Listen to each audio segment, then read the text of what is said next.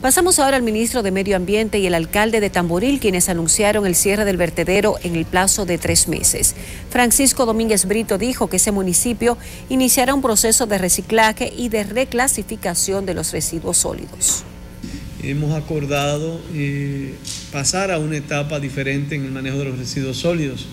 En consecuencia, eh, nos hemos puesto ambos un tiempo de eh, tres meses a los fines de ir preparando el cierre del vertedero de Tamboril y luego crear todas las condiciones a los fines de que todos los residuos sólidos que se generan en el municipio de Tamboril sean llevados eh, directamente a Rafey.